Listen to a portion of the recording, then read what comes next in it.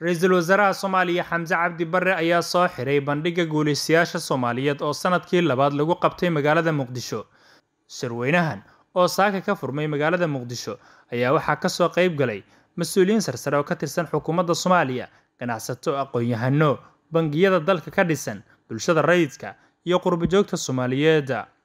Bandhigga sanadkan oo diiradda lagu saaray dhiirigelinta wax-soo-saarka dalka wuxuu ka koobnaa doodo cilmiyeysan, hadal-jeedino ku aaddan fursadaha iyo caqabadaha haysta beeraha, kalluumeysiga iyo xoolaha. Doodda iyo hadal-jeedinada shirka waxaa garab socday bandhig ay sameeyeen shirkadaha beeraha, xoolaha iyo kalluumeysiga. Inta ay xafladda socotay, waxaa abaalmarino la guddoonsiiyay ganacsatada iyo iskaashatooyinka Soomaaliyeed ee u istaagay inay dalka wax uga soo saaraan bulshada. Ra'iisul Wasaaraha Soomaaliya Xamse Cabdi Barre oo ka soo qayb galay shirkan soona xiray bandhigga ayaa aad u bogaadiyay shirkadda Hormuud Telecom, isagoo ka hadlayana waxa uu yidhi. waxaan rabaa inaan u mahad celiyo inta garatay gaar ahaan shirkadda hormuud oo goosatay inay abaal mariso ganacsatada soomaaliyeed ee halbowlaha u ah dhaqaalaha dalka mashaariicdaas ama sectoriskaas hadda laga hadlay ee haddaan abaal marinay waa xoolaha aynu leenahay.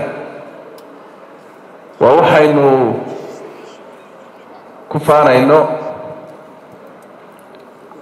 Waa waxaan rabno insha allahu tacaala inaan ku horumarno waxaan rabno inaan nolosheenna ku qurxinno. Dalkeenna ku qurxinno. Kula tartanno adduunyada. Waa resourcekeenni marka xoolaheenna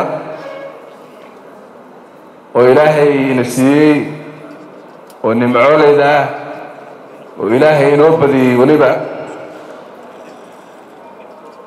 beeraheenna oo ilaahay ina dejiyey dhul ku wanaagsan beeraha webiyo leh asaga meel waliba biyo kaga jiraan oo haddii la qodo biyaha la soo saarayo carra carrasanna ah baddaa dheerarka badan ee ay adag tahay maanta in uu hormaro dal aan bad lahayn dhaqaale ahaan oo middle income-ka yimaada xataa. Intaas iyo energy-gii runtii waxaa waaye waa arrin lagu farxo marka. Maadaama shirkadda hormuud ay garatay inay dhiiri geliso oo ay abaal mariso ganacsatada soomaaliyeed ee arrimaha muhiimka inoo haya aniguna waxaan codkayga ku darayaa inaan u mahad celiyo oon idhaahdo ganacsi keliya ma haysaan. Laakiin waxaad ka shaqaynaysaan dadka soomaaliyeed fuuturkooda iyo mustaqbalkooda aad ka shaqaynaysaan aada iyo aad baad u mahadsan tihiin waxaan qirayaa inaad duruufo aad u adag aad soo shaqayseen ku soo shaqayn jirteen ilaa haddana aad ku shaqaysaan. Waxaan qirayaa inaad duruufo amni duruufo dhaqaale duruufo infrastructure la'aan duruufo suuq la'aan duruufo agoonnimo iyo dowlad la'aan intaba inaad ku shaqayseen aad ku soo shaqayseen aan qiraya waxaanan